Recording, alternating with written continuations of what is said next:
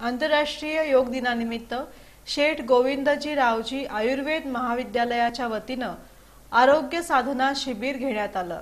आठव्या आंतरराष्ट्रीय योग दिनानिमित्त शेठ गोविंदजी रावजी आयुर्वेद महाविद्यालयातर्फे महेश लॉन्स सम्राट चौक इथं आरोग्य योग साधना शिबिर घेण्यात आलं. प्रास्ताविक स्वस्थ वृत्त आणि योग विभागाचे प्रमुख डॉक्टर अमोल वेल्हाळ यांनी केलं. यावेळी प्रमुख अतिथी म्हणून माजी नगरसेवक आनंद चंदन शिवे यांची प्रमुख उपस्थिती होती. त्यांनी याप्रसंगी आपलं मनोगत व्यक्त केलं. आज खऱ्या अर्थानं मी बोलणं उचित नाही.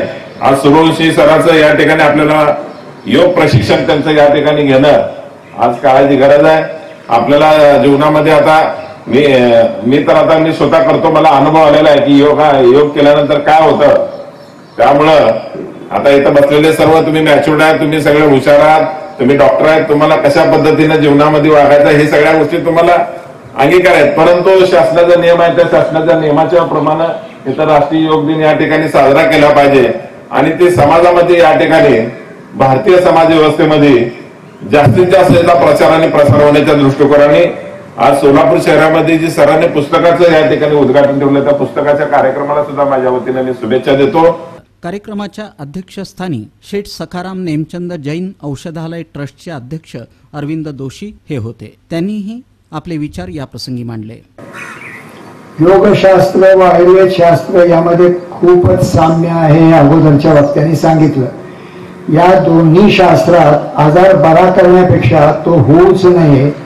प्रिव्हेंटिव्ह मेडिसिन म्हणून ह्याचा उपयोग करावा. म्हणून आपल्या संस्थेतील स्वस्थ वृत्त व योग विभागाचे तसेच महाविद्यालयाचे एन एस एस युनिट यांनी हे जे आजचं कार्य केले त्यांचं अभिनंदन करतो. भविष्यात या दिशेने प्रगती करावी अशी मी त्यांना शुभेच्छा देतो आणि आग्रह करतो की यापेक्षाही या दोन्ही शास्त्रांचं दोन्ही शास्त्रांचं जे एकत्रीकरण आहे किंवा त्याचा एकत्रीकरण अभ्यास करावा आणि त्याचे फायदे लोकांपुढे आणावेत असं मी त्यांना आग्रह करतो. योग साधना शिबिरात योग प्रशिक्षक धनंजय सूर्यवंशी यांनी योगशास्त्राविषयी माहिती आणि योगासनांची प्रात्यक्षिक घेतली. मोठा श्वास घ्या.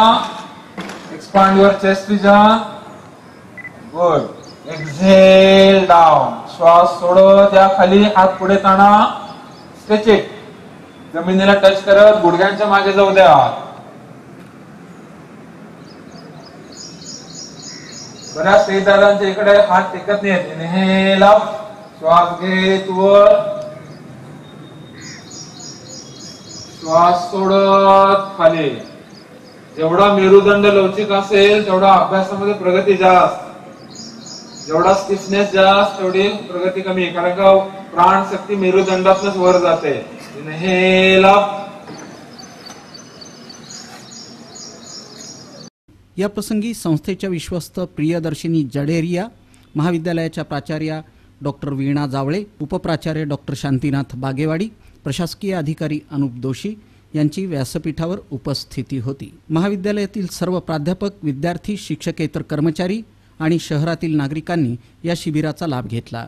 सूत्रसंचालन डॉक्टर गायत्री देशपांडे यांनी तर आभार प्रदर्शन डॉक्टर रेवणसिद्ध उस्तुर्गे यांनी केलं.